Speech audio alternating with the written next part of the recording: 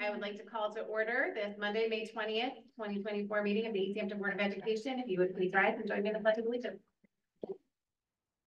I pledge allegiance to the flag of the United States of America and to the republic for which it stands, one nation, under God, indivisible, with liberty and justice for all. It is the mission of the East Hampton Schools to partner with our families and community to prepare confident, compassionate, and collaborative learners who navigate a complex global society. First up this evening is some a student recognition. Thank you very much. Uh, we have in the audience tonight a Voice of Democracy Award winner, multiple time winner, uh, Bailey Ozaki. Bailey, if you would come forward. And we'll have you face this way so we can get you on the camera. Perfect. Oh, You can face, you can face the audience because we want your pictures to take, we want your parents to take a lot of pictures, so don't hesitate, mom, get that camera right out. And would you introduce the board to your parents? Um, yeah, these are my parents. Um, my mom is Kristen Ozaki Owen and my dad is Paul Owen. Great, thank you both very much for coming tonight. This was written up by the Social Studies Department, uh, describing Bailey's, uh, success. So Bailey Ozaki's multi-year accomplishments with the Voice of Democracy competition is admirable. Bailey has not only participated in the Veterans of Foreign War Speech Competition for multiple years, but has placed for multiple years as well. This year's Bailey's submission on the greatest attributes of American democracy not only came in first within the local VFW division, but then placed at the state level. This accomplishment opened the door for Bailey to compete at the national level, sending both her and her family on a trip to Washington DC, where she was able to tour the White House and meet other students from across the United States. We are proud of Bailey's achievements and dedication to the VFW speech contest and the mission of honoring American patriotism.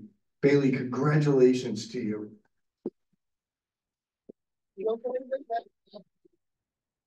This is the part where can come right up front. We're gonna do some pictures. You hold the plaque. We'll get Mrs. Kohler board chair on one side. I can hide behind. No, come in. Here, you go, ask your daughter. Kelly, would you mind moving the picture? Oh,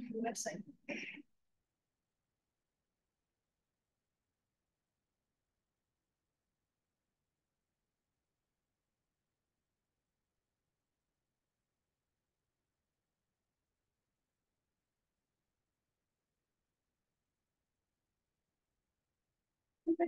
Website. Congratulations to you. And we anticipate uh, seeing you next year uh, as well as a winner. No pressure. I know, isn't that awful to say, huh? I think she's already started next year's essay contest. It was a good, a good experience for her to go, because this way she saw how everyone wrote. So That's That's Wonderful, wonderful, wonderful. Congratulations. So you are welcome to stay for the meeting, but if you would like to slip out the door, you are more than welcome. Promise ice cream. so- Oh, yes. We'd like to move our. Thank you very much. Don't ever take some. All right, next up, interboard liaisons. I don't think we have anyone here in the room with us tonight. I do see Jordan online with us. Jordan, is there anything you'd like to share?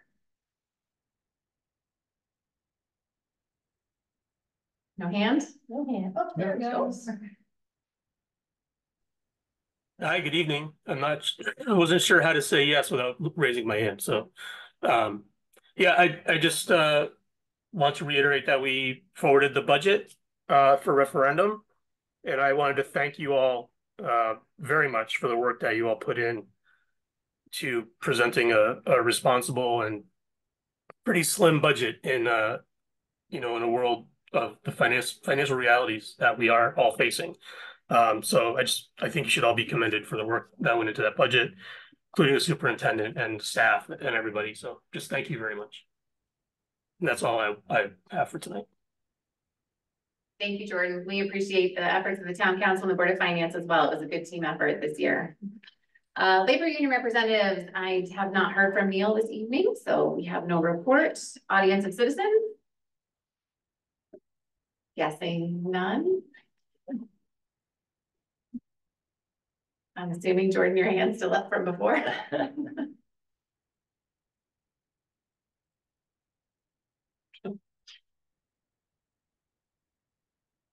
Oh, can I still speak? Do I still have a microphone? Yes. Um, Yep. okay, I, I did actually want to make a comment. Um, I'm Jordan Worma, thirty-two Oak Knoll Road. Um, I wanted to touch briefly on the proposed policy regarding the after-school hours use of the, uh, school facilities. Um, there's some language that's being removed from this proposed policy that concerns me. There's specifically, uh, quote, the use of these facilities by responsible community organizations, unquote, and granting use for, uh, again, quoting, educational, cultural, civic, social, recreational, governmental, or general political nature and other non-commercial uses, unquote.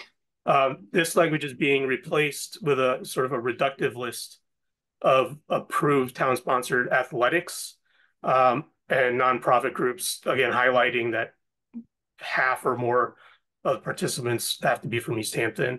And I don't have any issue with that fifty percent caveat, though I am concerned as to how that percentage is going to be calculated on a case-by-case basis and at the subjective discretion of those who are able to authorize or deny the facility use.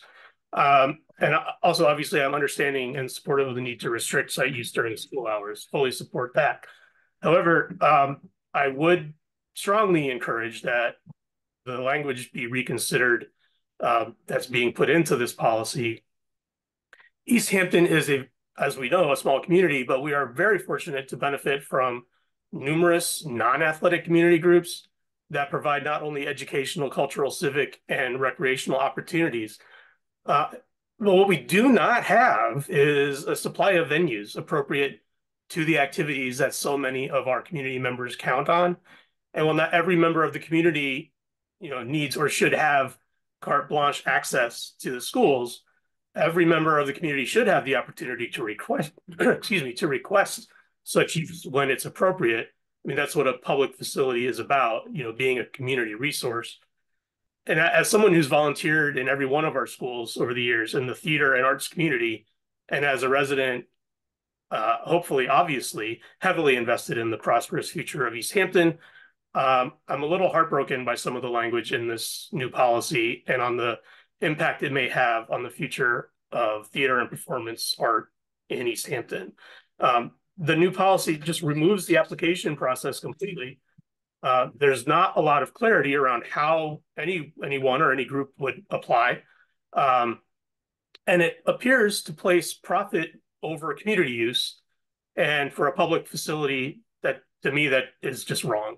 Um, I've lived in a lot of places. I've used a lot of community facilities, and I've never seen um, this sort of restriction placed on a publicly funded educational facility. So I hope that this policy as it stands will be rejected just so that it can be reviewed um, and incorporate some of the potential losses uh, to the community, maybe be considered at a future meeting.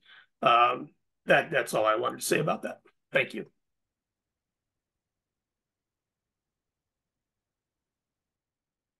Right, I'm assuming we have no other. Audience of citizens, so moving on to the consent agenda, do I have a motion to approve the consent agenda? Which contains the minutes from the May sixth meeting, as well as the resignation of two teachers as listed in item numbers fourteen point one and fourteen point two. So moved. Second. Okay, we have a motion and a second, is there any discussion? Hearing none, all those in favor? Aye. Aye, Josh, Present. are you voting in favor of the motion? I wasn't here for the uh six, Okay, so you're abstaining? yeah, declining. Okay. I believe it's abstaining. Same, yep. Committee reports, uh, Student Board of Education representatives do not appear to be with us this evening. So we will catch up with them on another day. Update by district administrators, Mary. Good evening. Uh, first, the district PDAC committee met today to finalize planning for this school year and to start to plan ahead for the 24-25 school year.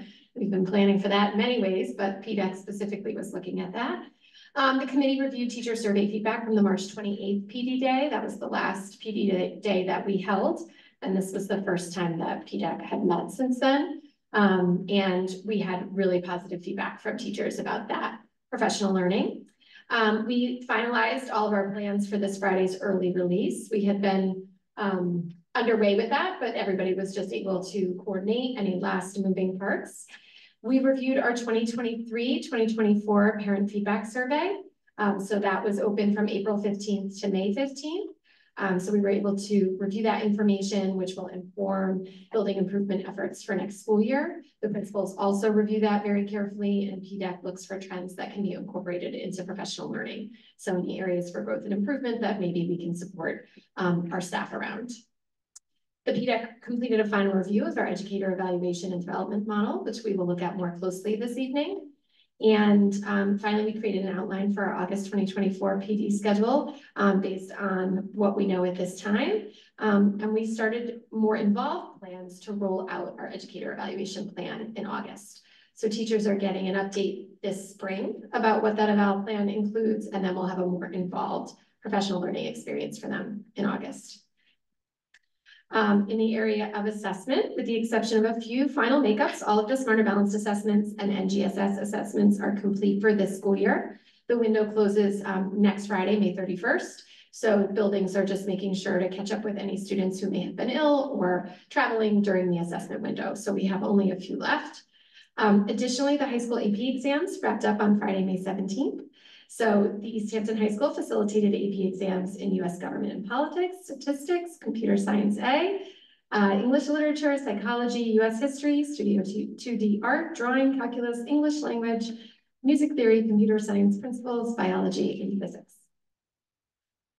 Additionally, our K through eighth grade students are currently completing their final progress monitoring assessment of the year. Um, iReady and reading, iReady reading and math. Um, the buildings really started um, last week and are finishing up this week. Um, as you know, these assessments are given three times a year, so this is an important data point uh, to see our students' growth, and we expect most students to complete the assessments this week, and any final makeups will take place next week. Additionally, last week, we completed our screening for our incoming kindergarten students. Um, and we will start working on planning their classroom placements for the 2024-2025 school year. If you've never been through it as a parent, Memorial does a really nice job. Um, families are able to schedule an appointment and while their student interacts with some of our instructional specialists, um, parents are given an orientation and information session and administration there is very hands-on in that process. They are the gateway to our entire school system, so we consider that a very important event.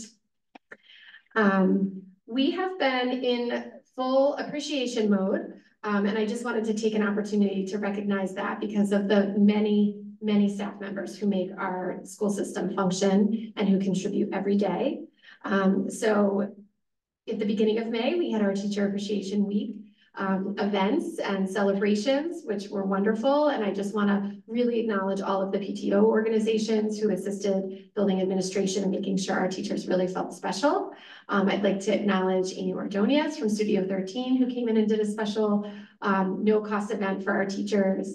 We had yoga for them that week. We really tried to show them um, our, our deepest appreciation for all they give so generously each day. We celebrated our nurses, our ASOs, our local police department. Uh, next up this Friday, we'll recognize our custodians and cafeteria team, and then IT appreciation rounds out the month on May 31st. We know spring is in the air because the accomplishments of our students and the celebration of important milestones is well underway. I know you have the full list of events, but this is just a sampling of what's been going on and what's coming up. Um, last Wednesday was the East Hampton Middle School Band and Chorus Concert. If you weren't able to attend, you missed out. It was really um, a very exciting performance.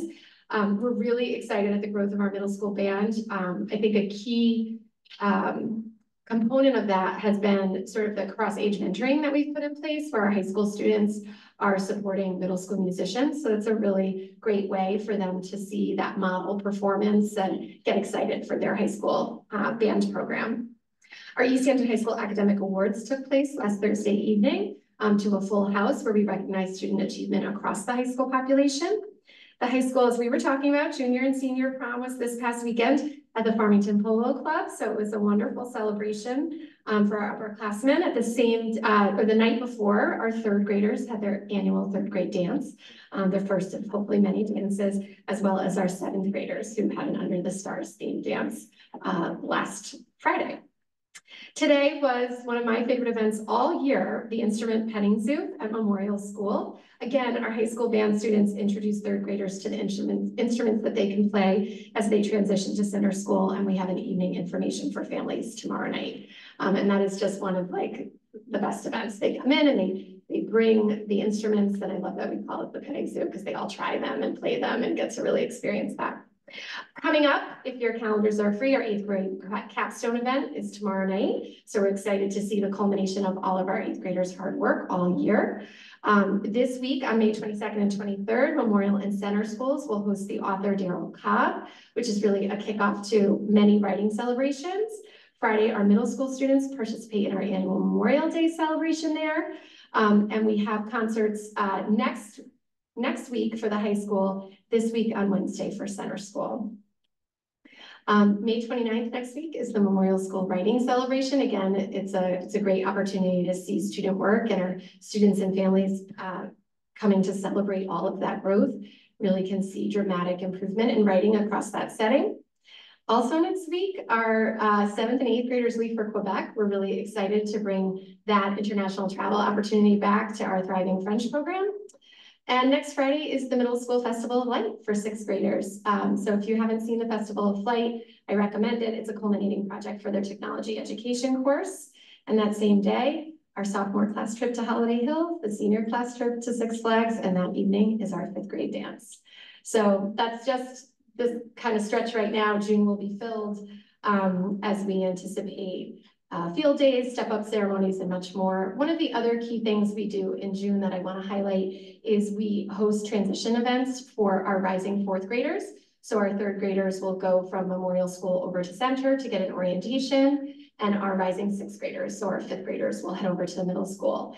Our eighth graders complete those transition visits earlier in the year for scheduling purposes, but I think those are some nice opportunities for students to get excited for 24, 25.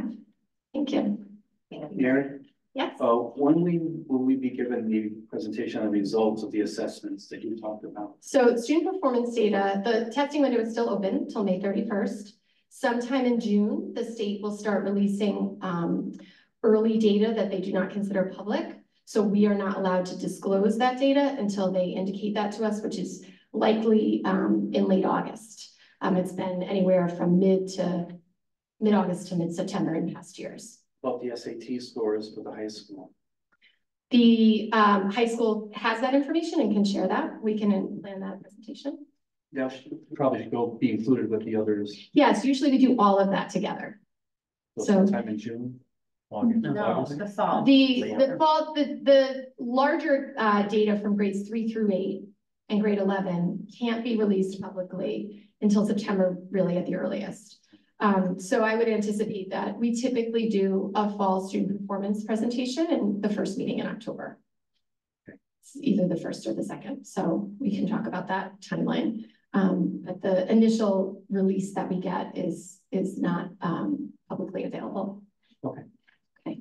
Thank All right. Thank you. Yep. Okay, subcommittee reports, um, Ms. Mel, no updates? Policy and curriculum, I know did not meet today, but we do have a few policies coming forth later in the meeting. Finance, transportation, buildings and grounds. Yes, the uh budget referendum's June fourth. Vote, vote, vote. Great, thank you. Mr. Smith, superintendent's report. Yes, just very briefly, uh, last week, the, uh, town council approved the budget, as Augie said. Uh, the town meeting, which will be very brief, is, uh, next Tuesday, the twenty-eighth. And adjourn immediately to the referendum on June fourth. The, uh, budget is currently under two mills. Uh, so hopefully we can get, uh, the message out to get everybody to the polls and get that finished. Uh, Mary left, let, gave you a list of dates, just also highlight June third, the, the top ten, save that particular date. That's always a nice one for the board members to go. You really get to know our top ten students and the mentors who had the, uh, the strongest influence on them. It's, it's a wonderful night. Uh, some of the things in the budget that I want to make sure that, that you understand that we are doing, um, the middle school floor and gym floor, the hallway floors and the gym floor will be redone. We're using extra money from the roof project, uh, pending town council approval of that funds. Uh, that's going to really, the gym really needs, uh, some work at, at the middle school. This will be a nice upgrade to that. And then all the hallways will be complete. And then the Memorial School rug, we're gonna have another, uh, couple of hallways, uh, lose the rug and add the floor to that as, as well. When we give you a nice tour of the middle school, uh, when you come back, uh, it'll have all LED lighting in the classrooms and the hallways. I think it's gonna look, uh, much brighter than it does now. And that is it.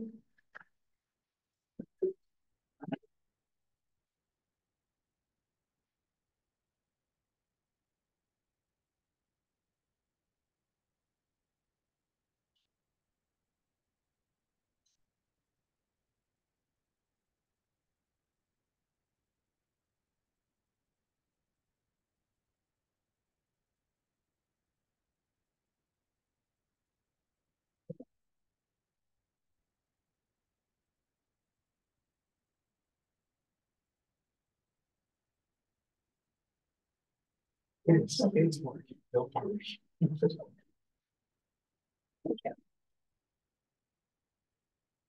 So tonight's um program presentation is on the implementation of illustrative mathematics at the middle school. Um, joining me tonight is Camila Lewis, our sixth through eighth grade math specialist. We have our unfriendly microphone. on that side. Oh, it's very friendly. Hello, everyone. So thank you so much for being here tonight, Camila. She's going to co-present with me. Um, tonight's presentation is really just an update. We've talked about illustrative mathematics in the past. Um, this was our first year of implementation, so we wanted to take this opportunity to um, introduce sort of the accomplishments of this school year and remind you of kind of how we got here. Okay, um, I know Sal, you asked about student performance data. Middle school math was an area that we're really focused on. I think it's really important to note that performance improvement um, is something we, we really planned for strategically. We knew that math was an area of concern for our district coming out of um, the COVID shutdown and, and subsequent, you know, modified instructional settings. So in addition to changing some of our staffing models, we really started to reflect and come up with a multi-year plan, um, starting first with bridges at the K-5 level. So um, just kind of to bring us back to that, there's a little timeline here you should be able to see on your slides. So in the 21-22 school year, when we were already well into um, our work on bridges at the K-5 level, we really started to research the best match for middle school. Bridges is a K-5 program, so it does not continue into middle school, and we knew we needed to find a solution for our middle school learners.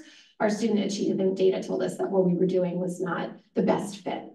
Um, and so we really started to look at um, a variety of programs, and one of the key things that helped us to make our decision was districts that had high growth and high performance. We worked closely with the State Department of Education Performance Office to talk about, you know, what are those trends?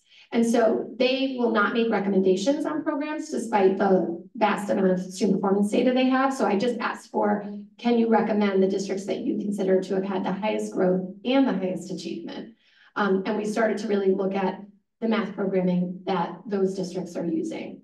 Um, and after a thorough review process, really felt that IM and its uh, problem solving model would be the best fit for middle level learners. So in the 22-23 school year, we started the process of change at the middle school. We engaged our teachers in professional learning around the instructional model for illustrative mathematics, and we piloted units in classrooms. We really wanted to see how our students did with the program. That's something I really feel strongly that our teachers and our students interact with the program.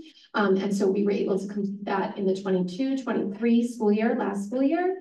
And then in this school year, 23-24, we moved to a full implementation in grade six and seven. Um, we decided to grow into grade eight as opposed to changing that programming for students for one year in the middle school. Um, and so our current sixth and seventh graders are finishing their first year of IM. I think that uh, it's important to note that when choosing IM for the middle level, we talked with districts that use Bridges K-5 and IM 6-8. Um, Camila personally uh, oversaw some of that work and it helped us to really identify any alignment issues that we might want to um, consider. Were there are gaps that um, students may find in joining IM in sixth grade? So we were able to really pinpoint certain specific um, units that we wanted our teachers at the middle level to observe at center school and other areas where we could make sure that the um, transition from Bridges in fifth grade would be seamless to sixth grade. Um, we really felt that the discourse that many of you have seen in action in, with Bridges through Number Corner and the nature of the workspaces in Bridges that we've, we've talked about in the past matched to IM. Um, you're going to hear me talk about using student discourse and accountable talk in mathematics classrooms as an important strategy to make sure that all students um, are engaging in the math curriculum and really benefiting from each other's thinking and learning.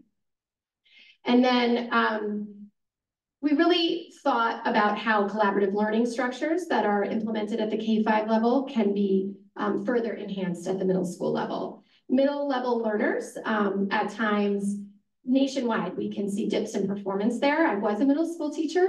It's a really critical time to engage students and to make sure that they feel that the work that they're doing is relevant um, and gives them opportunities for um, social learning. Middle school students are social. And so we really felt, as you're going to hear tonight, that IM um, would be a great match for their developmental stage.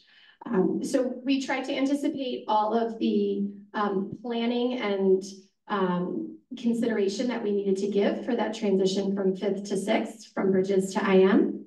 We worked to make sure that our teachers felt confident in the discourse structures and classroom routines that they need to implement um, in order to engage students with illustrative mathematics. So that's a, a little bit of how we got here, the timeline, and why we felt it was such a strong choice for our middle school. Illustrative mathematics uses a problem-based learning structure, and it's really um, a very rigorous problem-solving model where students don't just have someone demonstrate a mathematical skill and they replicate it, but rather they engage in um, problem solving in order to really have an inquiry experience, to look at the problem, to apply their existing knowledge, to look at different strategies to solve the problem, and then the teacher brings in um, direct instruction. And so that is a, a very specific design principle in illustrative mathematics to help the students engage. If a middle level learner is walking in and sit down, we're just gonna review your homework and I'm gonna show you this one skill and then you're gonna practice it. Um, it's, it's not gonna have the same impact and it's not gonna foster um, that mathematical problem solving that we know is so critical for the, the level of math that they're doing. Um, if you recall Pat's presentations on mathematical practice standards, how, how students engage in problem solving is a key component of that. We've talked about the dispositions that we want our students to develop as mathematicians. And as you can see on this slide, um, illustrative mathematics really facilitates that. You're not a passive learner, you're an active learner in the classroom. So it's important that they are engaged in asking questions, identifying the skills and knowledge that they have that apply to the problem and where their next steps are for learning. So this is just another kind of graphic that lays it out. You can see step one, um, the teacher first facilitates uh, the, the question that students are going to be working with and ensures that they understand the question and gives them the opportunity to ask any clarifying questions. The students then um, really have the opportunity to kind of try to tackle the question and the teacher is able to listen in and, and look for opportunities um, to coach into that problem solving. Um, students work together in groups to share their thinking. Um, to see how they've been able to, uh, tackle the problem. And then ultimately, they bring that learning together and talk about the different strategies that they've used. And if you recall from some of your visits to Bridges classrooms, you've seen that student-to-student discourse where they talk about, well, this worked for me. Um, and other students share different approaches. And so it, it helps build that flexible thinking for mathematics. And so here you can see sort of that traditional approach of more just direct modeling versus the problem-based learning and why those two approaches are different.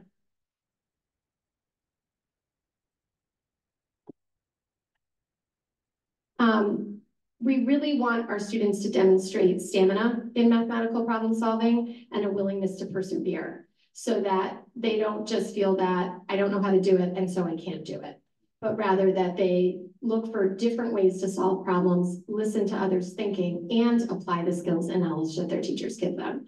And we're going to talk about the instructional routines that the teachers use in the classroom because while this is really an inquiry model of learning mathematics, it doesn't mean that there isn't direct instruction.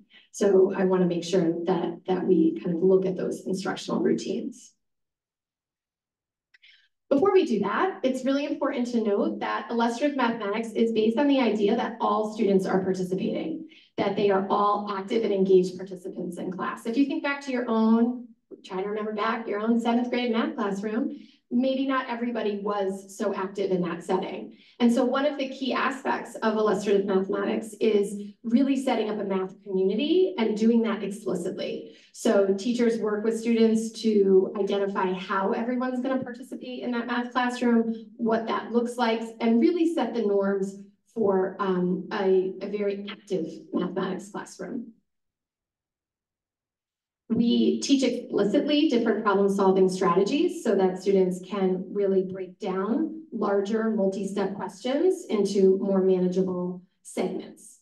Um, and really, that's just another aspect of it so that the students are working through um, involved questions, very often multi-step questions. And so we want them to really be able to break those questions apart and make sure they're answering all aspects of it and they understand what the question is asking of them. And then finally, student discourse is a critical component of illustrative mathematics. Students often work in small groups. They're getting up, they're moving around the classroom. We use vertical whiteboards for them to demonstrate their mathematical thinking. Um, the teachers have started to do a book study around um, a, a text that's really transforming mathematical instruction right now, building thinking classrooms. And it really talks about the need for that active physical movement in the classroom um, and making sure that they're sharing their, their problem solving and their mathematical learning across the classroom setting, not just with one person, but with the entire class. In order to facilitate that well, we have to provide direct and explicit instruction about our expectations for student-to-student -student discourse, for collaborative learning, and for problem solving. And that's all built into IM. So the earlier units in the school year reinforce those in sixth grade, really introduce, and then in later years reinforce those expectations. So we're not just setting it up and hoping everybody knows how to engage, but really being specific about what that looks like and what's expected of the learner. All right, I'm gonna go through your typical routines. Um, IM's main goal is making sure that every student has access to grade level math content. Um, so typically when a student comes in, there's a warm up on the board or do now as we like to call it at the middle school. Then there's some sort of instructional activity, a lesson synthesis, and a cool down. So the warm up is always the first event. So it's when the student comes in, they kind of put their things away and they kind of spend some time thinking on their own a little bit, trying to figure out what they know by themselves. And then they collaborate on it. So um, they sometimes will either do a, a number talk, a notice and wonder, or which one does not belong. So here's a notice and wonder, and the most important thing to IM is making sure that every student feels invited to the lesson. So the do now is typically something where they can pick something out, and as long as they can make sense of it, then there's really no wrong answer. So it's really giving the opportunity for them to demonstrate their mathematical reasoning, which is one of the mathematical practice skills. Here's an example of the same notice and wonder that a student did. So if you can see this, They are really spending the time to kind of look at every single example on there and determine what they really see and what they want to know more about. And I think as Camila mentioned, you really want them to engage. You don't want them to feel like anything that they're wondering about isn't worthy of wondering. Um, you know, we have at the middle school, just to remind you, students in sixth grade are grouped heterogeneously, but by seventh grade, they start um, to either take the grade level course or an accelerated course. We want all students, um, regardless of that math placement, to come into contact with those grade level standards and to have the same opportunity to um, really communicate what they know and what they're wondering about. And that's going to help that teacher facilitate individualized learning. This is another example of a warm-up. This is a which one doesn't belong. So students can pick any of these and justify it, but there is one that the teacher will guide them to. So if you, if you notice, three of them are all the same answer, if you simplify it. That third one, the four plus three x equals nine, that's kind of where the teacher will lead them to be able to make sense of. And notice that once you simplify it, the rest of them will all be the same answer. Instructional activities. So here's where they introduce a new concept or representation. Here they formalize a definition or a term. They identify, identify and resolve common mistakes and misconceptions, and they work towards mastery. So here's an example where they're identifying an, er an error. So there's three different students' work, and here they have to justify and figure out which, which student did it correctly. When a student can justify which student correctly, that means that they've mastered the content. So that's an important skill for them to have. So we've talked in the past where you've seen the student samples of student work about the student being able to really, you know, show their work, but also in middle school to be able to explain their thinking and justify their reasoning. Here's just some examples of solving equations. Um, so there's multiple representations. So again, it provides that access to all learners. In the first example, they're using a hanger diagram. In the second example, they're using tape diagrams. And they're again solving equations with these, providing that visual to then get to the algorithm. And in math um, instruction, a sort of a major foundational idea is CRA, which is really moving from concrete to representation to abstract thinking. And so that's why the models are part of this process. So they have something they can really, you know, have that visual model and then move into representation um, through the variables, numbers, and equations, and then eventually move into higher um, abstract concepts of mathematics in high school. So again, here's kind of what a classroom looks like. Um, teachers do tend to use the vertical whiteboards for a couple of reasons. Number one being that they can monitor every student's work by just like looking around the room. The second reason is if a group gets stuck, they can look to other groups for how to start. So this kind of provides examples and it keeps the other groups working. So it's sort of that natural, you know, these are classwork items where you might be problem solving. If Camila and I actually went to a PD on this method together and we were working through some something and so then after like, well, no, what do, what do you think we should do next? And the people next to us were like, did you think about this? And we were like, oh, we get it now. And so it's that same model um, where this is active classroom learning. We want our students to be learning from each other, sharing their thinking. Their independent practice comes later, but this is where we want them to have those natural opportunities. And if they're all seated separately and they're not having those opportunities to have dialogue, to recognize when they're stuck, um, it doesn't facilitate that same active classroom. So as Mary said, there's also some direct instruction. So by the end of the period, it's called the lesson synthesis, but that's when everybody comes together and we ensure that everybody understands the objective for the day. So they may either add something to their book or they may have a graphic organizer. Um, they have the opportunity to ask questions of the teacher and kind of make sure that they have met the objective for the day. So the teachers can gauge their student response to the lesson. They're seeing their work around the classroom as they're moving through their problem solving. So they're really able to target that lesson synthesis based on what we saw today. Where, where did we, you know, feel that we were successful? What's that next step? And then provide that instruction. Um, so they're not planning the lesson and then hoping everyone got it. They're observing the student performance and then teaching into the next steps. And that's an everyday routine, so it, um, it just sort of flips the classroom a little bit, but it still provides that direct instruction. And the last part of it is the cool down. At the end of class, there's about like one question that the students will have to answer. It may be an open response, it may be a quick check just to make sure that, just to see where their students are and see if they need to adjust the lesson for the next day. Um, again, as I said, IM focuses on making sure that every student has the, has the access to the grade level material.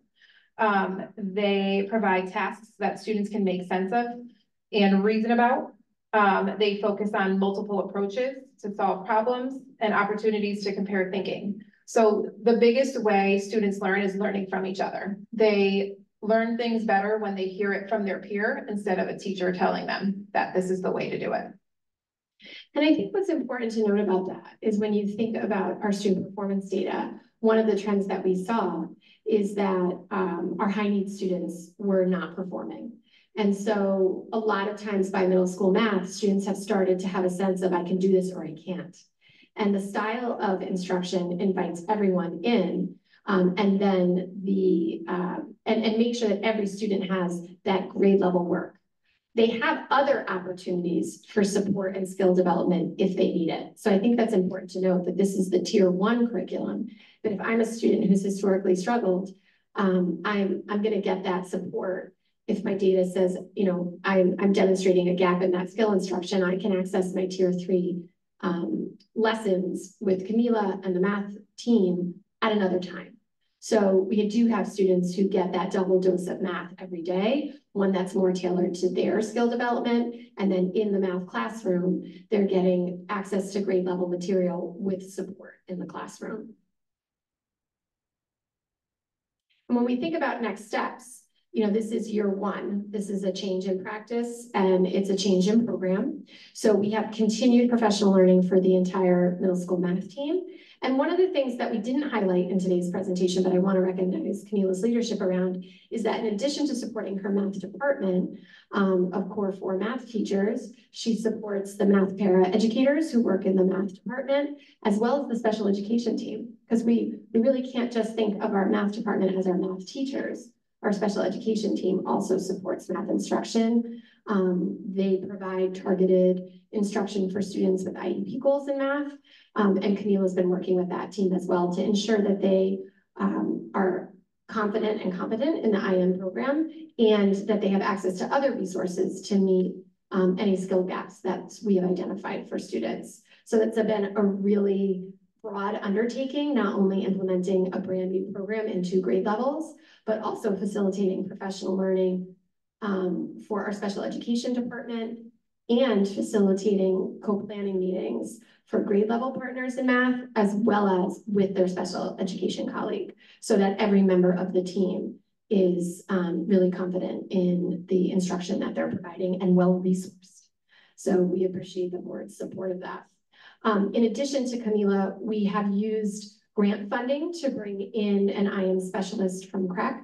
She is the statewide lead on illustrative mathematics, districts fight over her time. Um, I may have reserved it like three years in advance so that our teachers would only have the best um, and all the key PD days. Um, so we had a good, a good level of support and time where they had facilitated professional learning and then separate planning time as a grade level partnership team. We're going to continue that next year. So that, you know, you, the first year is the first year, but there's still more learning to do. And we're expanding to eighth grade next year. So we need to make sure that there's that vertical alignment across the grade levels and that our, our teachers continue to deepen their practice. We are anticipating a pilot of an IM aligned intervention program as well. That's very much at the um, infancy stage.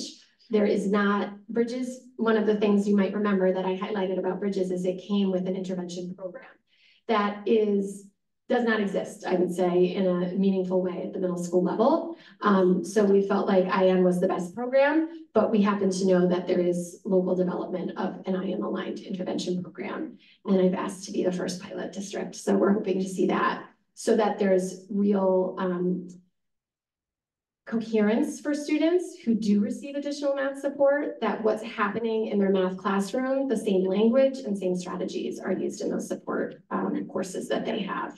So those are next steps and areas for growth, I would say, as we continue the implementation in 2024, 2025.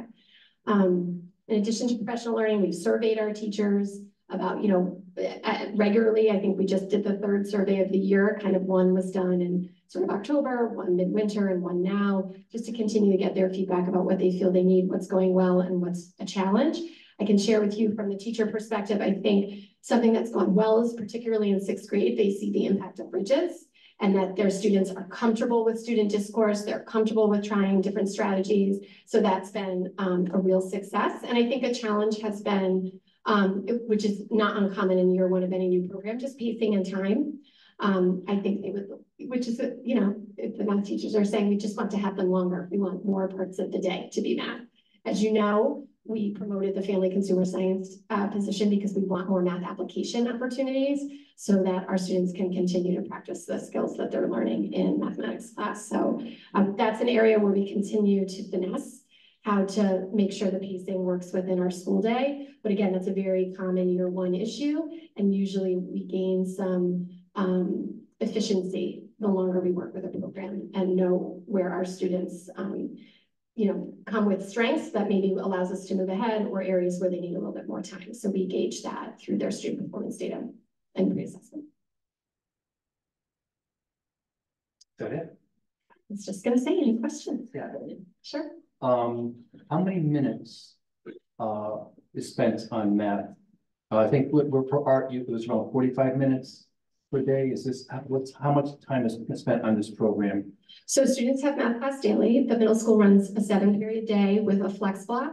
Um, we did have to expand lunch. You may remember this legislation was passed to make lunch thirty minutes, so it's about forty-seven minutes. Do I have that right, Camille? Yes. Forty-seven minutes. So this For this, and then a follow-up was, you mentioned that some of those that need extra help are, are, you know, have that opportunity. Yes, So they get an extra forty-five minutes or so, it depends. okay? So And then, well, my question was what, while these people are getting their extra um, support, what does, what happens to the rest of the class? So? The tier one math class happens daily and every student takes math class daily. If a student uh, qualifies for support and intervention, so their tiered intervention support, that is scheduled potentially in place of a study hall. Um, the flex block that I mentioned, which is about a twenty-five minute block at the start of the school day, students can also be scheduled then. Um, some students have two study halls and a flex block, so they might see three, you know, additional opportunities for math support and it's not always scheduled in the exact same way. Um, if they're, you know, we, we try to make sure that students can access all programming. So we work across the flex block and study halls. If a student has an IEP and receives additional instructional services in line with an IEP goal, that would, um, again, can vary depending on the way the IEP is written. It could be three times a week, four times a week. Um, it depends on the level of need for that learner. Um, and that is determined through the PPT process with the child's instructional team, special education teacher and parent. Hmm. So that varies. So you would put students that are the same learning level together, so they can work together on a project. So, you know, so they're all the same level of thinking and, you know, as opposed to a higher level learner who it might be, you know, might come real quick to them. So the students who qualify for tiered instruction are typically grouped based on the skills that they're working on. And very often that's the case for IEP services as well. In the tier one setting, the math class that every learner takes daily, in sixth grade, students are uh, grouped heterogeneously, which they're mixed together based on various ability levels. Um, supports are pushed into that classroom. So if there are students who need additional support to be successful, it follows them into the classroom. In grade seven and eight, students start to be placed by math level. And so there is an, an accelerated version of that course um, in seventh grade where students move through the content more quickly and start to access eighth grade skills and knowledge. And then students who are successful in the accelerated course in seventh grade are often recommended to algebra in eighth grade. And that is students who, the only students placed in algebra are students who've demonstrated certain math performance. And we look at multiple math data points to make those decisions. So we look at iReady scores that benchmark screening that we do three times a year. We look at their grades and we look at other um, universal screening assessments that we give on their math fluency and basic skills. So there's multiple um, pieces of data that would inform that. Parents are informed of the placement process in the fall. They're given an initial placement in the early spring and then a final placement at the end of the school year. Um, so that they kind of have a sense that this is what we're going to look at by March, end of March. Um, we're telling them, you know, here's what we're thinking based on what we've seen. And then we do wait until we have that final iReady score. And any, you know, there are times that students are, you know, demonstrate some improvement and then we might reconsider um, that placement in the spring. Thing that doesn't quite mesh with me is, we don't know the scores, like you're saying, we're not gonna have a presentation until September. That's the you're- balanced assessment, the state assessment. Right, but isn't that what you base your assessments on, No. or, no? So When the you're- smarter when you're making balance, Decisions you're talking about with how to place students in the school year, it's like, it seems like it's too late. Smarter Balanced is too late, Sally, you're right. And so we rely more heavily on iReady internally.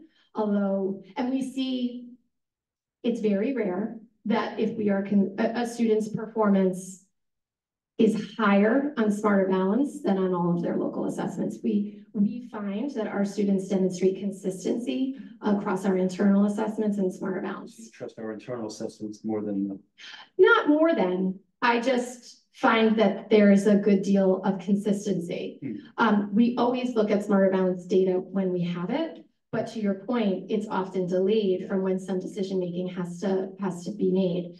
We reference previous scores, however, so I didn't, I didn't specify that. So if we see a trend that you're consistently four is the highest score you can get on Smarter Balanced. If you're consistently as four on Smarter Balanced since third grade, and all of your other student performance data more recently demonstrates that you're performing on that level, then we have a good sense of that, that level of performance. But sometimes we have students who are toggling between sort of a developing and proficient level. And so we really want to look at those scores carefully. Um, and it is challenging for scheduling purposes when we don't have final data until late summer.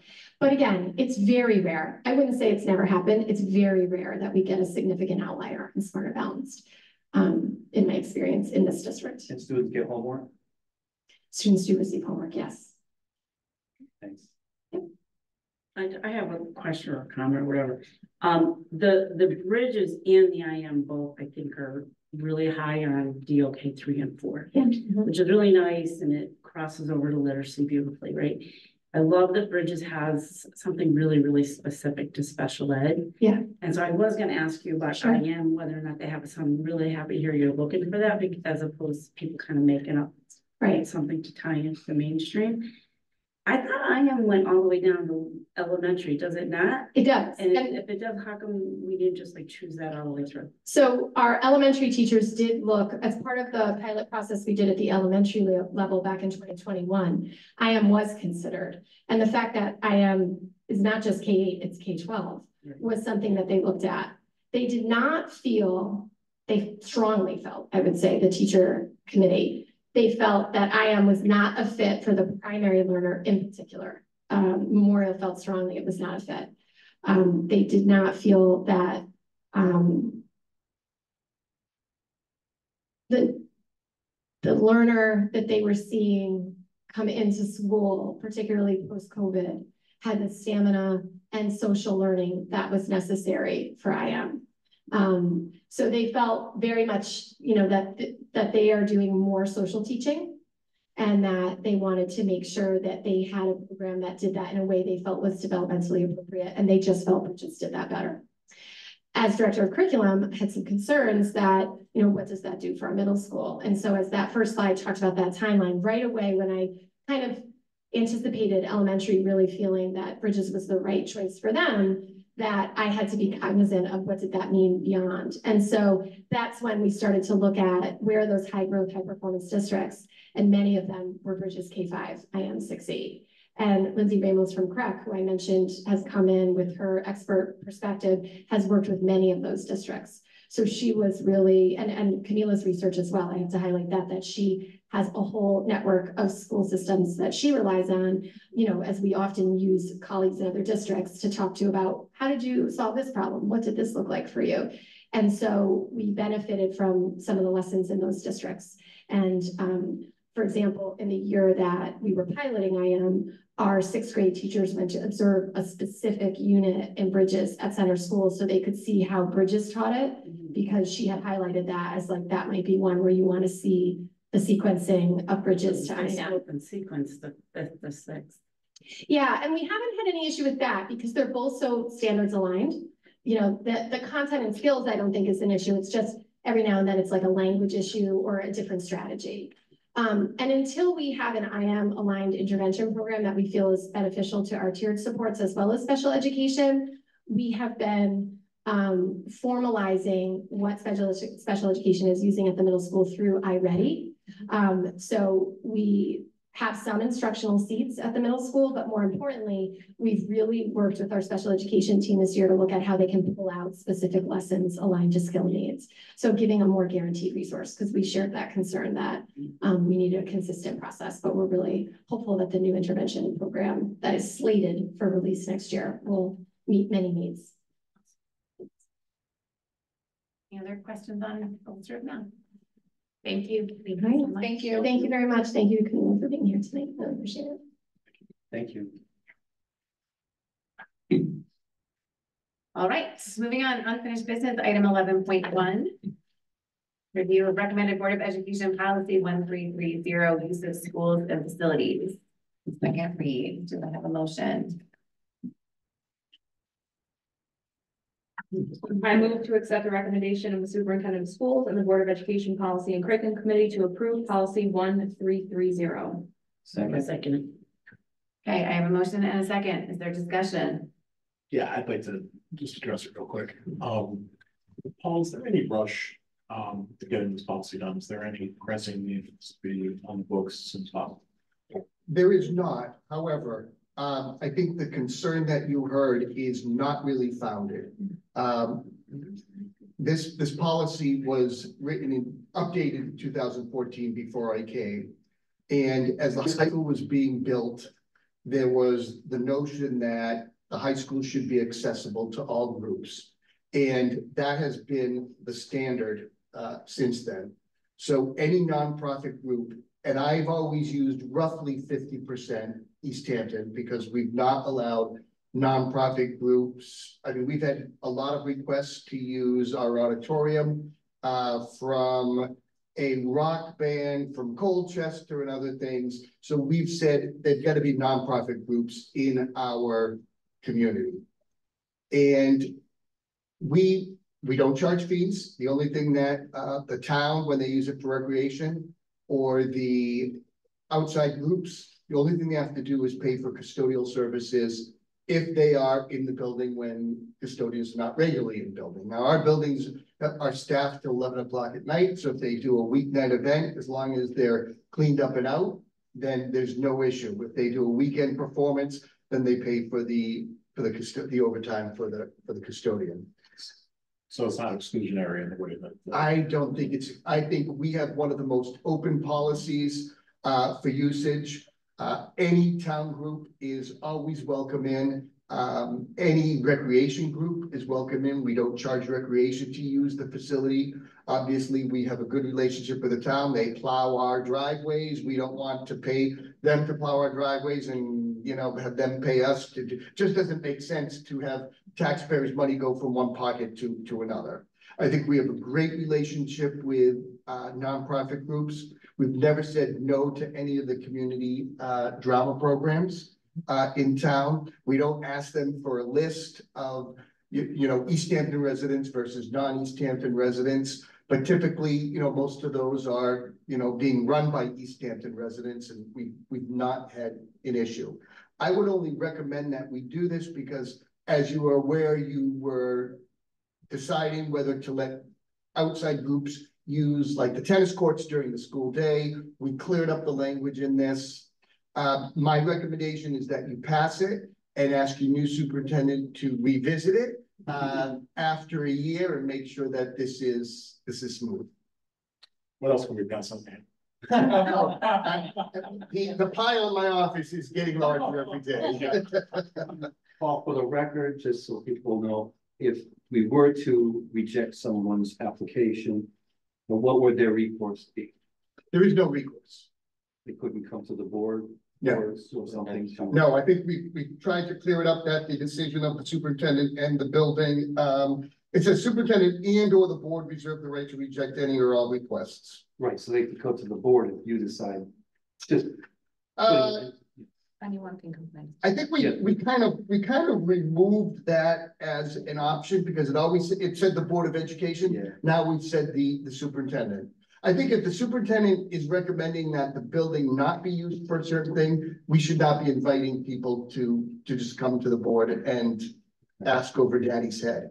Um, and I, you know, we're not rejecting a lot of, of different groups. I think people understand that we allow the town groups to use our, our building. And you can imagine before this building, we were hosting planning and zoning meetings at the high school and everything like that. So I think we've been very generous with our facilities, uh, but we're also very careful about, you know, especially some of the, we allowed a local, uh, dance company to use the building and they make a donation to the high school or project graduation each year. But we're very careful about outside dance companies, Mhm. uh, just because of the wear and tear and the feathers and the beads and Litter, things like that, yes.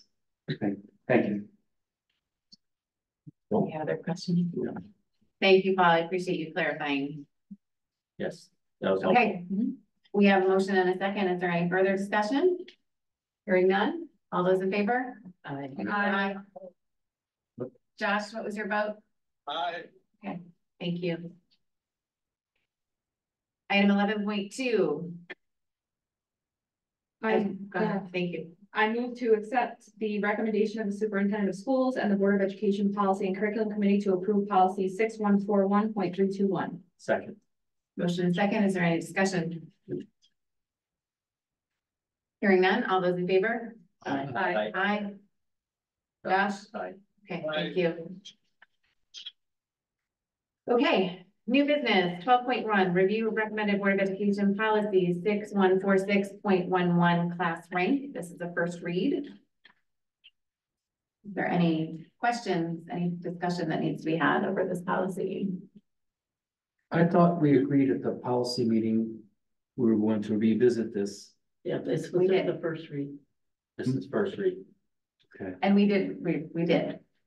I think we agreed that we were gonna use the audit language, and I was gonna get the audit language from the guidance department in the high school, and that is included in your first read. okay. So if you have any concerns, uh, at the next meeting, we can address that, or if you wanna look at it now, you can make any comments. Okay, Any further questions on this first read? No, Hearing none, moving on to twelve point two, review of the new teacher evaluation and development plan and the administrator evaluation and development plan, first read.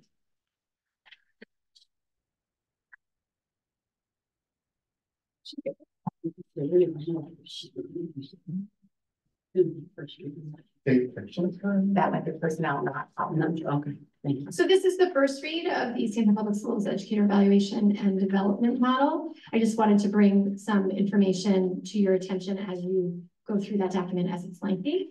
Um, and it reflects, uh, our obligation as a school district to revisit our educator evaluation plan. Um, before I jump into the plan itself, I just want to stress that this was developed by your Professional Development and Evaluation Committee, or PDEC, as we refer to them, um, which is required by state legislation. So um, it is something that between now and June tenth, if you have questions, feel free to reach out to me.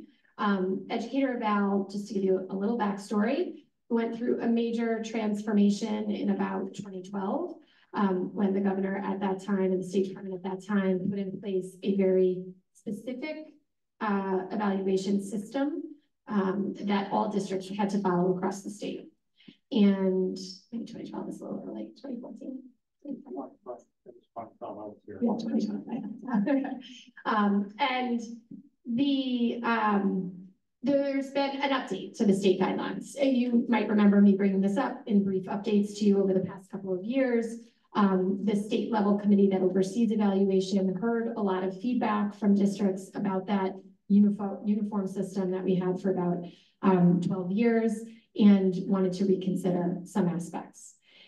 In addition, um, some of that conversation was accelerated, I would say, during um, COVID. There were flexibilities offered to districts about how to try some different things with evaluation because obviously teachers were teaching under extreme circumstances. And so we really wanted to look at how we could support the educator, the student, and overall improvement. Um, and so this has been in the works for a long time. Despite the fact that it's been in the works for the long, a long time, some resources from the state were a little delayed that we were expecting. So we knew as of last spring that we had to redesign, I know, redesign our evaluation model, but some of the supports that were to come maybe were, were not available properly. But I would say by October, November, your PDEC was well into the development work. We got a key piece of support in February from the state that was supposed to come in like September, um, which was their model plan. Your PDEC really liked the state model plan and relied heavily on.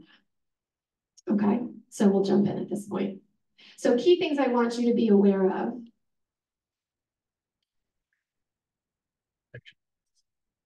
No, I think- Sorry, it's not working.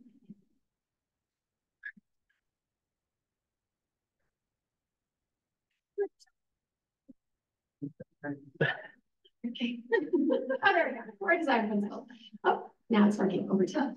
Uh, so, oh, now it's going great. You're not supposed to see any of this yet. Yeah, sorry. You talk so fast. And the core design principles, yeah. Uh, no, core design principles. So, um, these are seven aspects of educator eval that we were asked to consider and integrate into our evaluation plan. And really, I think when we think about the range of educators we have and the goals of a public school system, there's a lot here that makes sense. So first is differentiating for roles. So we have educators who are, are, under the umbrella of educator, but they do very different things. The school psychologist is really different from a second grade classroom teacher. It's really different from a PE teacher. Um, there's some really important similarities there, but there's also some differences. We also have teachers who have been in East Hampton for 25 years. We have teachers who are new to East Hampton, but have been educators for 15 years. We have teachers who are brand new. So one of the things we're looking at is how to give a little bit more choice and flexibility because um, not everyone needs the same thing exactly all the time. Simplify and reduce the burden. The previous version of Educator Eval, that uniform system I spoke of, was burdensome. Just, I think universally it would be perceived that way. There's a lot of great things about it, but it was routinely viewed that way, I think, by teachers and to some degree by administrators um, because of some of the, the steps in paperwork. So I wouldn't say we had to make massive changes in that area, but we were able to streamline things in some places. Um, they talked about focusing on things that matter. So really engaging the teacher in the evaluation process to set goals that they're passionate about and that they believe will make significant changes and improvements for their students. Connect to best practices. So really thinking about how we can engage teachers in action research and also allow for consideration of the whole child. So the previous evaluation model required all educators to set, set student growth performance targets for students and really use student performance data to determine their effectiveness. The new educator eval model allows for that, but you can have other goals as well. Um, in other words, if I'm a science teacher and I want to look at how I can help my students improve on NGSS, I could set a target, a, a data point target on NGSS, but I could also look at aspects of NGSS aligned curriculum that maybe I could um, enhance in my classroom and I could research that side of things. So the goal is always to improve student performance, but it doesn't mean that your measure for that year is just in an isolated data point. It might be about more of a learning process that you engage in. Number five, I think is, is probably the crux. There's has to be engagement on educate, educator growth and agency. Um, East Hampton is very fortunate. I know I stood here in August and talked about staffing for the 23-24 school year. and that we were proud to start the school year with every position in the district filled. Many of our colleagues in other districts cannot say that because of a increasing teacher shortage nationally, not unique to Connecticut. And while we are still able to recruit strong candidates in this community, we're very proud of that. I think that the profession um, has struggled in recent years and engaging teachers, helping them have choice, helping them have voice, and feeling that their professional learning is impactful on their classroom, their students is something that is definitely one of the core design principles of this system. Um, always giving opportunities for meaningful professional learning. I think that's an area we're already doing well a lot, not perfectly, um, but we do survey our teachers all the time on this. And while they give us feedback and new topics, they are also often, you know, complimentary of the PDEC and, and what's provided. And then always a core design principle, but one that some of the streamlining of the process is meant to enhance is that teachers receive specific, timely, accurate, and actionable feedback. So those are sort of the underlying principles when you view the plan and you have the opportunity to read it in depth you always want to come back to these because this is at the, the core of what's been planned. For all the ways I'm going to show you that there's some changes, there's a lot that's the same. So this graphic represents the educator continuous learning process. So really, we're still following a specific process of goal setting in the fall, a mid-year check-in, and a spring end-of-year evaluation and reflection. That hasn't changed. Um, and you can see that around that process of setting goals, meeting with your administrator to check in and describe how that's going and the impact it's having on your students and your practice are observations of professional practice. That means observing teachers in their classroom as well as in their other duties. Teachers do a lot of things and classroom instruction is a big component of what they do, but they participate in meetings, they facilitate meetings, um, whether it's a PPT meeting, a grade level meeting, a department meeting, um, they engage with parents in formal sessions, they lead open house evenings, they go to data team meetings. I mean, they're, they're doing a lot of professional work away from their students. And so we observe all of that to give meaningful feedback because there's a lot of connections between the work you do outside of the classroom and your growth there and the work you do in the classroom.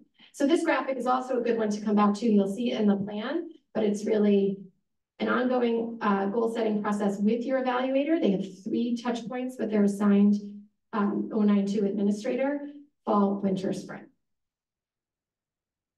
This next slide goes into a little bit more detail about what happens at each of those meetings. So it's not a casual meeting, it's a very formal meeting. Um, so you're gonna start the beginning of the year reflecting. Um, there's a formal self-reflection process they have to go through and really starting to plan your goals for the year. You're going to develop those goals and present them with a rationale to your administrator, along with any necessary professional learning or action research you might conduct as a teacher. Professional learning is not all formal, we bring in an outside speaker. It's collaborating with colleagues, it's book studies, it is observing other colleagues in this district or elsewhere. So they can kind of come up with an action plan.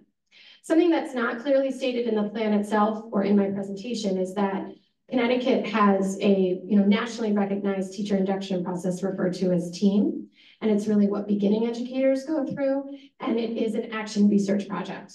And it's been viewed as successful and supportive of beginning teachers, and so elements of that are really involved in the new teacher evaluation plan, where you're designing that action research and thinking about where am I finding consistent success as an educator and where do I want to grow and how can I research and learn about that. Then you have that goal setting conference still in that column um, under orange goal setting. Um, and that's going to be where you mutually agree with your administrator. You have to reach consensus on a one, two, or three year goal. Um, and you can also, new to this uh, process, have a group goal. So if the grade three team all feels like they want to work on the same thing, there's, there's, you know, power in numbers. Um, and so that's um, something that's been allowed for in the past and remains available under this plan.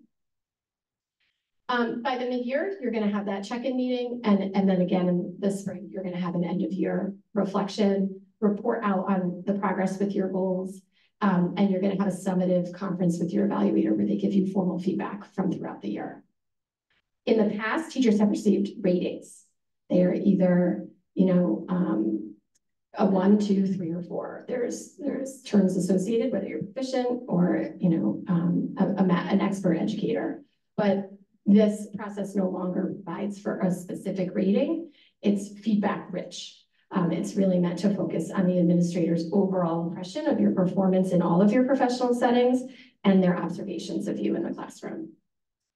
Quick question. Sure. Um, how does that not become subjective?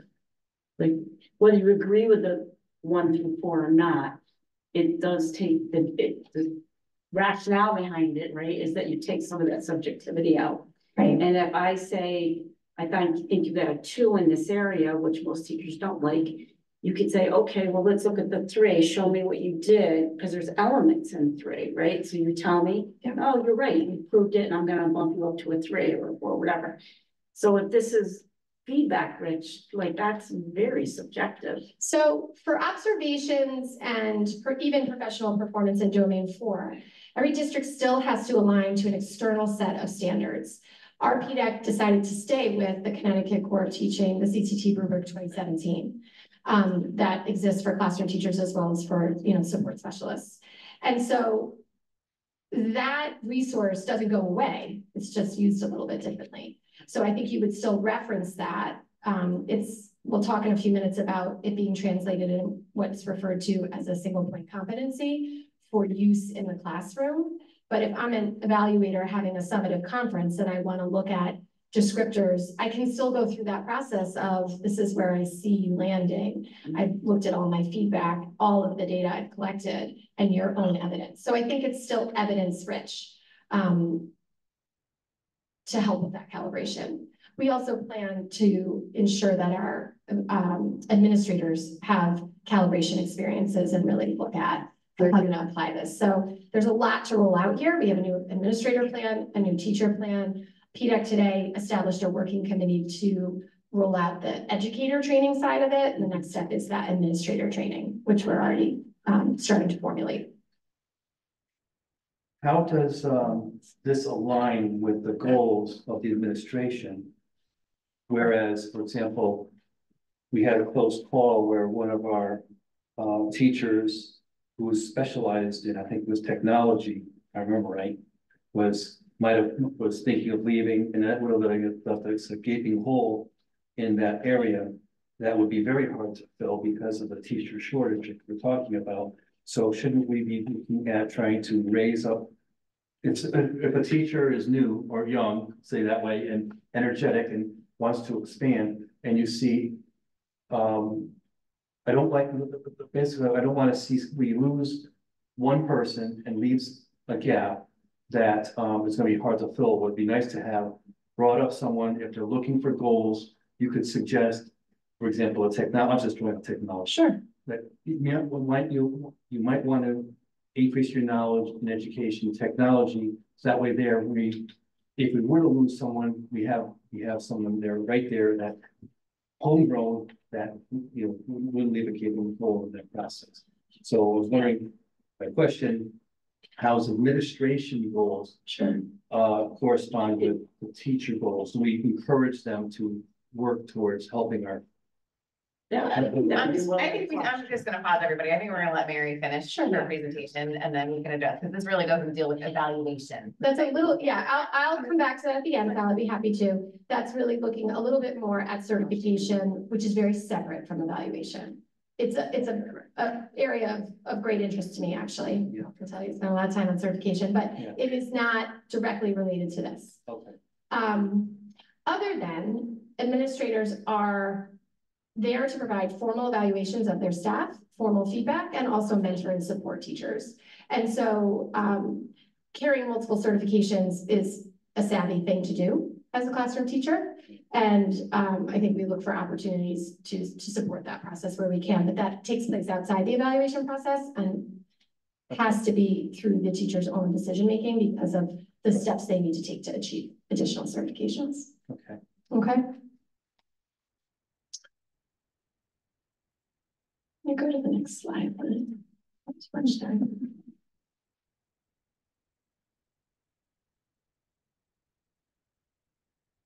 Turn off, turn it back on. Yeah, I think.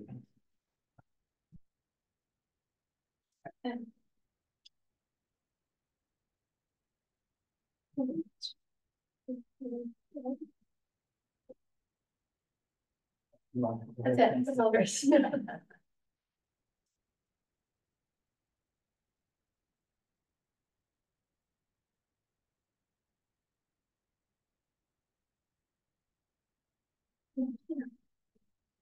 I'm off. Yep. No, you're there. To remember. I lost Jordan.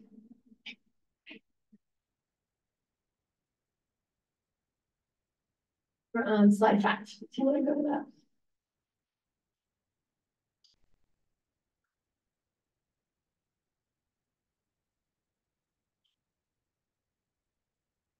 Next slide is going to talk about what's the same in educator eval. And there, there are some aspects that are not a change. And it's important to note that whatever we're doing with educator evaluation, it has to be aligned with legislative guidelines. So this isn't of our local and sort of original design. Um, so first and foremost, what's the same? There are still three goal meetings, as I indicated, beginning of the year, mid-year, end of year. So that's been in place, it's not new, um, and it continues. So teachers have that regular touch point with their administrator.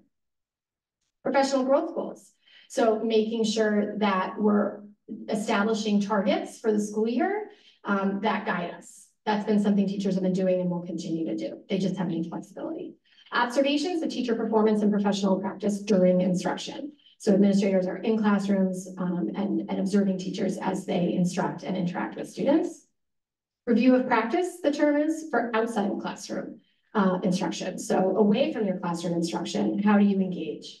Um, are you in, engaging in those data team meetings? Are you participating in your grade level or department planning meeting? Um, those are all opportunities to, to provide feedback because how you work with your colleagues and how you look at student performance data or other instructional practices uh, continues to impact your classroom instruction. Our observation rubric is not changed. I referenced the CT, CCT, it should be, sorry, that's a typo. It's not CT, it's C, CCT, Connecticut Core of Teaching, rubric for effective teaching. You can click on that link um, and you can really look at that rubric in more depth. It was produced by the state of Connecticut. It's been in use in this district for many years. And then an annual teacher self-reflection so that they themselves each year are taking the time to think through how they're doing. They used to do that against the rubric they're going to do that a little bit differently. And then summative feedback from your evaluator is still part of the process. What's new? Uh, educator voice in the observation process. So this is really looking at all of those core design principles where teachers need to have the opportunity to have a bit more agency. So now the observations um, can look different and teachers have voice in which structure. We've laid out different options for them and they can work with their administrator to decide which observation cycle makes the most sense for them that year. I'll talk more about that in a minute. Goal length doesn't have to be a one-year goal. It used to have to be a one-year goal. Now it can be a multi-year goal. Some things are worthy of longer study and some are short-term. The type of goal, it no longer has to be student performance data driven. Although uh, I can tell you a lot of our teachers are like, I might do goal. I'm used to that. So it feels weird to let go of that. But they can also set goals that are not as um, specific in tying to student performance data, but could still impact it. And then a single point competency rubric, the CCT rubric describes what effective practice looks like in four different domains with many different indicators under each domain. And it tells you what that, you know, below standard looks like, developing, proficient, and exemplary describes that for every indicator. So it's a very involved document. And if you've not looked at it before, I would encourage you to do so. The state is requiring districts to move to a single point competency rubric. This is one of these streamlined strategies. Let's just describe what it should look like and give feedback based on that. That's basically what they've asked us to do here. Doesn't mean the CCT goes away because we have to use the full version. We have to be aligned to an external standard, but it just means that in practice, if you're observing a teacher, you're really looking at what's the ideal um, version of this aspect of teaching and what did I see? Reflections and, and strengths. So in observations, you have three different options. Option A is one comprehensive observation for at least thirty minutes. The administrators typically stay for the full period. That has a pre and a post observation meeting. It's what we would refer to now as a formal observation. You already have teachers who have, that's one of the, the ways that they're valued is through one formal observation. Option B is two focused observations, again, at least twenty minutes. Um, and again, that is something that exists in your existing plan. Option C is for snapshot observations, where you would have multiple observations, three that are a minimum of ten minutes. So that's the difference between someone coming in and watching one full lesson or doing sort of mini, shorter visits or mini visits to kind of get a picture over time. We, we talked a lot about this. Um, different members of the committee felt like it should be one formal, that's what the state plan actually requires. Let's just leave it at that. But there were other educators who felt like, you know, I've been doing this a long time. I don't need that formal event. I want someone to come in and see me, you know, see my classroom in its natural state. Come in anytime you want and do like a quick visit. So there are also times that depending on your professional growth goal, if you're really focused on an instructional, for example, illustrative mathematics, you may want to invite your administrator in to say, I really want you to see an entire problem-based learning lesson because I really need to better understand how I'm going to synthesize that lesson at the end. So I want you to hear from beginning to end. Another um, teacher may be working on classroom routines and transitions. If I'm a very new teacher and I teach, say, first grade, that's really critical. And so I might want someone to come and see me in the fall, where probably there's some room for growth, and come back and see snapshots. I don't need to stay 45 minutes to see how the students transition. A classroom founded is founded on strong routines and transitions. So it's actually a very worthy goal for like one year, but it might be best observed multiple times. So those are some examples of why teachers felt they're going to have choice on goals, they need to have choice on observations. And again, teacher agency is one of the core design principles. Goals, I kind of already said this, they can be one, two, or three-year goals that are mutually agreed upon with the administrator. They can be a professional growth goal where I'm looking at practice that will support my students, or it can be a student learning growth goal. Um, it's they have choice in that. Again, all of that choice has to be mutually agreed upon the administrator. So if the administrator says, I, I just I'm struggling to understand why this is the best approach. They would continue to have those conversations until they got to a point they both supported. Um, so there's a lot of different things that people might want to look at. Um, and the traditional SLO is what they do now, the student learning objective. Self-reflection, it currently is at the end of the year. It's going to be at the beginning of the year to prompt reflection and to help inform your goals. Um, it used to be that you scored yourself on that rubric. The teachers felt like we do the same thing every year. It's not as reflective as it could be. So now they have open-ended questions that they have to respond to. The single point competency rubric. So I've described this. It's based on the CCT rubric. It's um, there's no rating. Instead, it's feedback based on what this is teacher language, pros and glows. So here you can see um, the, the CCT rubric for effective teaching is linked there that um, this is really looking at domain one, a positive learning environment, student engagement and commitment to learning. This isn't the whole thing. It's much longer what they get feedback on, but it shows you that it's describing what we want to see. It's an assets-based approach. This is what should be happening. And then areas of strength, the administrator can highlight like this was great. I saw this and that and speak specifically to the rubric language, but also those growths, areas for improvement or next steps. Need to see more of this um, that's where the teacher is going to get that feedback. So it's still rooted in the rubric, but it's streamlined. So what's next? We don't move forward until you approve the draft plan that you now have. Um, the personnel subcommittee I met with previously, so they've reviewed it. Our first read is tonight, second read would be June 10th. Then it has to go to the State Department of Education for approval. And then um, from there, we hope to hear as soon as possible. I've already reached out to the talent office at the State Department of Education to let them know our plan is ready and that we're eager for their feedback. So as soon as we have an approved plan from you, um, I've already sent them the draft. I'm not really supposed to do that, but I said I'd really like to be first. so you sure you don't want to look? Because they said it had to be in by July 1. They've moved it to August 1 because some districts felt that they needed more time, which is a very fair way to feel. And um, they are saying we, we hope to respond by September 16th. Um, in my experience, that's a aggressive timeline for them to give feedback and approval to every, from the August one to September sixteenth, that's an aggressive timeline for them to give feedback to every district in the state. So I hope to get in the front of the line. Um, because if we have a board approved and SDE approved plan, then, um, we have an evaluation platform we use that hosts all of this data and all the forms. So ideally, I'd be setting that up in July. We already have a working committee that wants to plan meaningful PD for teachers. We'd like to do that in August because all of these things have specific times of year. So if we have to make any changes from the state level, I want to know as soon as possible um, because it backs into all of those other practical implementation components. And we want our teachers to come in feeling confident. Evaluation is a vulnerable process, and so we want them to feel confident and knowledgeable in what that plan is and that the systems that support that are up and running and professional and polished for them. We expect that, so I'd like to give that to them. I've provided you additional resources so that if you're wondering, um, I've given you access to the current version of the East Hampton Public Schools Educator Evaluation and Development Model. The Connecticut guidelines, frankly, that second bullet, that is the, the norms of the day. Um, and I've highlighted um, that we received this stated in August. It was really distributed in September.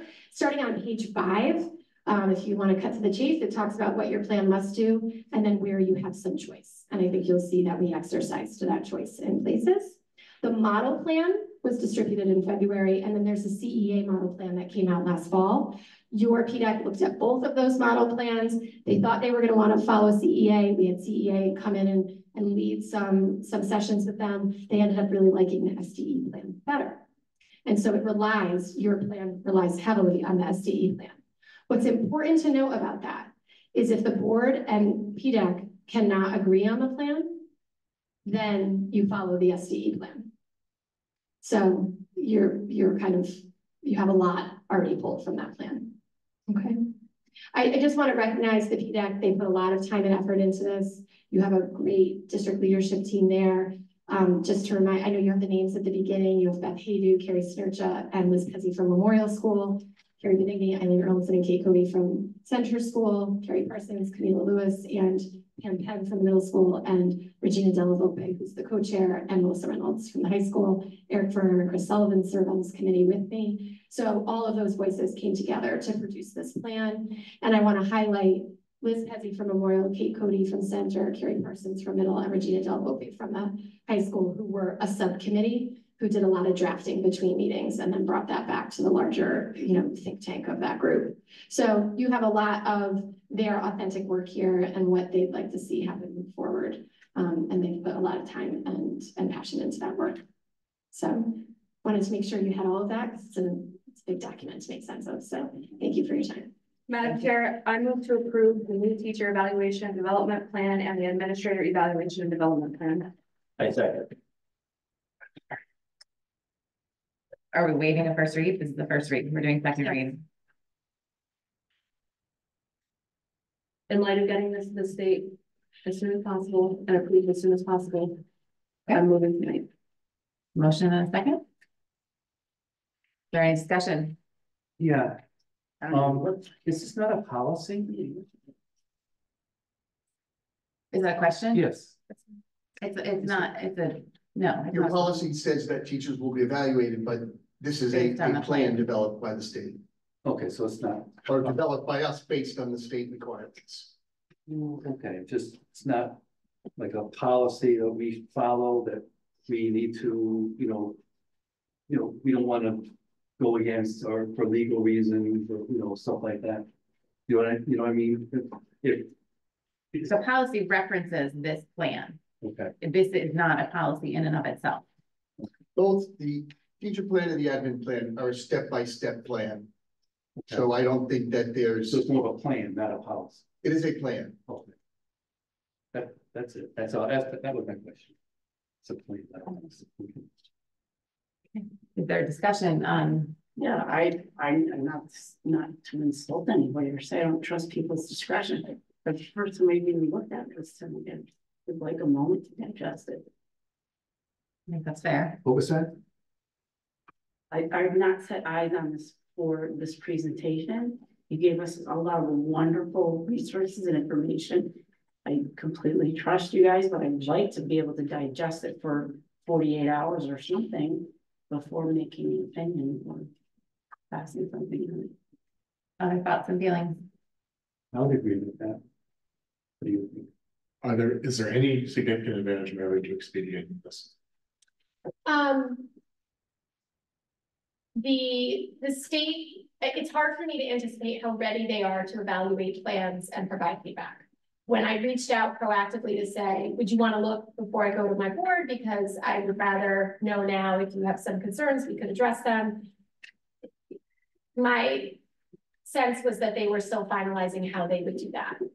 Um, I can't know that for sure, I'm not there. So I think there's probably not a significant shift between now and June tenth if board members wanted more time. Um. I can continue to, to talk to the state and let them know we anticipate having it ready to go and looking at drafts with them. So I could continue to do that behind the scenes if that's helpful. In that respect, I agree with Edie, that maybe it'd be helpful to have a little bit more time to digest this. Alright, I'll withdraw. Thank you.